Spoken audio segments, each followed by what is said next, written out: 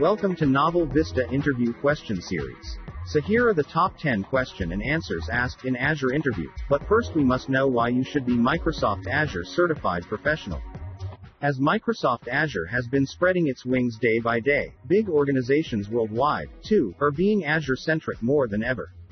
Microsoft Azure is creating new job opportunities every now and then. The much the demand for Azure intellects being increased across the industry, the tougher the interviews are getting. According to Payscale.com, applicants with Microsoft Azure skills in their bags end up getting even 1 million in Indian currency. Now the question is, if you are applying for an interview to work as an Azure professional, what are the questions you should prepare for? As an answer to it, we have picked up the most popular Microsoft Azure questions that are every interviewer's favorite. Which services of Azure you can use to manage resources? Azure Resource Manager is used to manage resources. What is Azure Diagnostic? Azure Diagnostics is an API-based system to collect the data and diagnose the running application. Name three main segments of the Windows Azure platform. First one is Windows Azure Compute, second is Windows Azure Storage, and third one is Windows Azure App Fabric.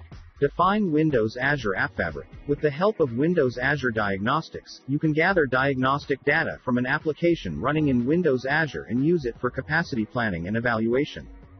This process is called Windows Azure App Fabric. What is autoscaling in Azure? Autoscale is a built-in feature of cloud services, mobile services, virtual machines, and websites that helps applications perform their best when demand changes. What is table storage in Windows Azure? Azure Table Storage is a service that stores structured NoSQL data in the cloud, providing a key attribute store with a schemaless design. What is a hybrid cloud? A hybrid cloud is a computing environment that combines a public cloud and a private cloud by allowing data and applications to be shared between them. What is the storage key? Storage keys or access keys validates us from accessing the storage services account and control data. What is Windows Azure Traffic Manager? Azure Traffic Manager is a DNS-based traffic load balancer that enables you to distribute traffic optimally to services across global Azure regions while providing high availability and responsiveness. What are the different types of storage areas in Microsoft Azure? The different type of storage areas in Microsoft Azure are as follows. Blob. Table. Line. Thank you for watching this video and all the best for your interview.